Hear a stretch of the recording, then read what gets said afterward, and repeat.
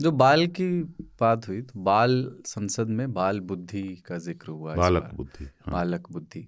और राहुल गांधी का leader of opposition के तौर पर पहला भाषण हुआ।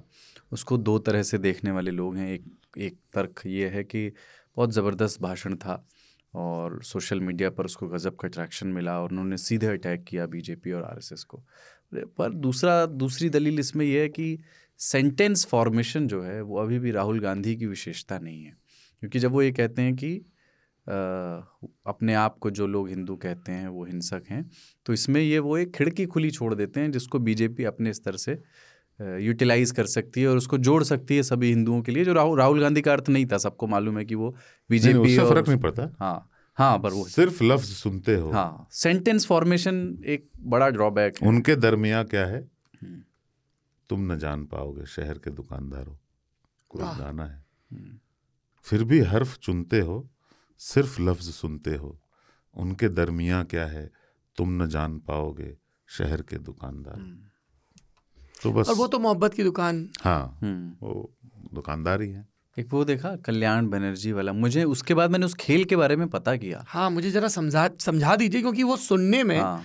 हम उत्तर भारतीयों को बड़ा अश्लील सा लग रहा था कित कित कित वो ना एक्चुअली उन्होंने गाड़ी की तरह शुरू किया और धीमी पे गाड़ी की चार सौ कल्याण बनर्जी वही हैं जो उपराष्ट्रपति की मिमिक्री कर रहे थे हाँ हाँ हाँ।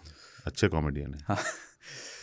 तो वो एक त्रिभुजाकार कुछ खींचा जाता है और फिर एक पत्थर फेंका जाता है। जैसे हमारे यहाँ एक और खेल होता है ना उत्तर भारत में और लंगड़ा चला जाता है खानों में उस तरह का गेम है। हाँ, हाँ, हाँ, उसी को वहाँ पर ये ये हमारे यहाँ भी बहुत लोकप्रिय है बचपन में हमने झारखंड में? बहुत किया अच्छा। झारखंड बिहार में पूर्वी भाग में जो बंगाल अच्छा? से सटा हुआ है पूर्वी हिस्से में छू कित कित खूब चलता है। हम्म। क्या बोलते हैं? छू कित कित छू कित कित उसको उसका नाम एग्जैक्टली छू कित कित बोल रहे थे। नहीं नहीं छू कित कित चू नहीं। अच्छा चू सुनाई दे रहा हाँ। हाँ वो उनको देख के ना बंगाली उच्चारण। सुनाई कुछ और देता है। हाँ। लेकिन अच्छा वो भी हुआ।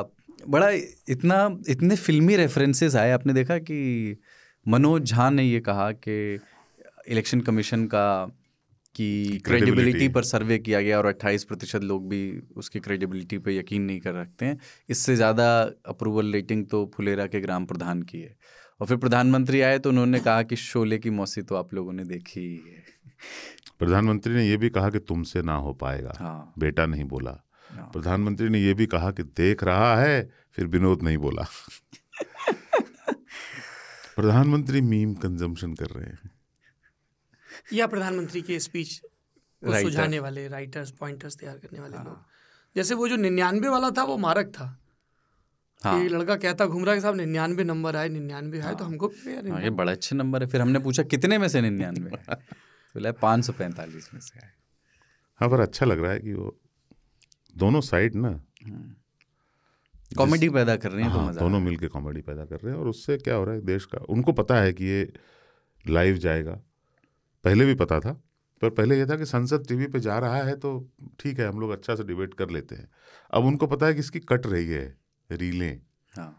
तो बहुत कई नेता फिर ये शिकायत भी हाँ। करते हैं कि उनकी स्पीच से रीलें क्यों नहीं कट रही वायरलिटी को लेके अब सबकी चिंता हाँ। बढ़ी हुई है। जो ये परफॉर्मेंस हो गया है हम्म। और फिर वो रेटिंग भी मांगते हैं। कल राहुल गांधी को पूछा एक रिपोर्टर ने कि कैसा रहा आपका पहला भाषण? तो उन्होंने कहा कि आपको अच्छा लगा? अच्छा लगा आपको? हाँ देखा मैंने। चलो। आपको मज़ा आया? यही मज़ा मैं पूरे देश को देना चाहता हूँ। पूरा देश ले रहा है।